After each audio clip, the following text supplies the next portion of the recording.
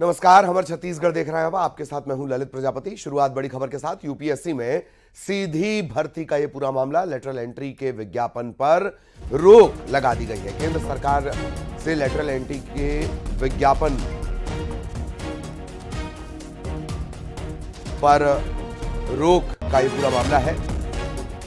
सरकार ने रोक लगाई है। यूपीएससी में सीधी भर्ती का यह पूरा मामला यूपीएससी चेयरमैन को विज्ञापन रद्द करने के लिए चिट्ठी लिखी गई है। लेटरल एंट्री के विज्ञापन पर रोक।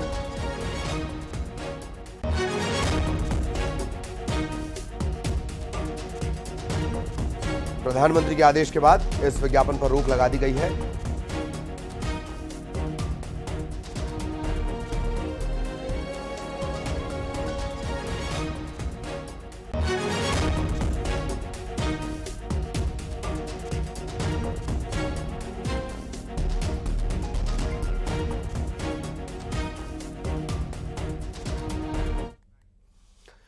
इधर रायपुर